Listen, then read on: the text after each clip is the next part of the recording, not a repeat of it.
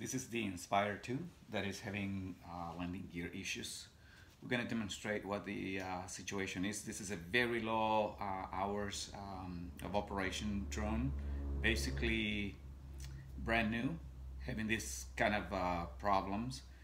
Um, we should push five times and that will lower that landing gear so that it could be ready to be packed and carry.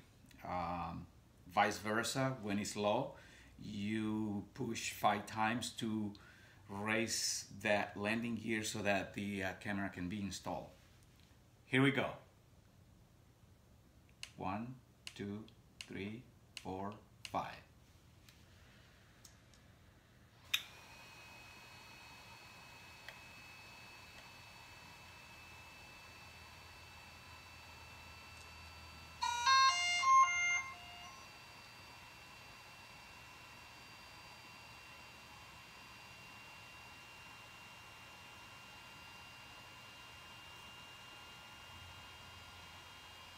as we can see nothing happened. We're gonna try to do the same thing now that it's on. It stays on after the five pushes.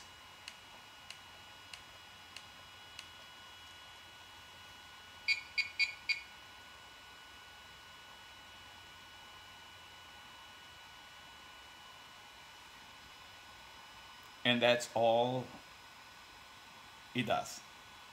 Landing gear never retracts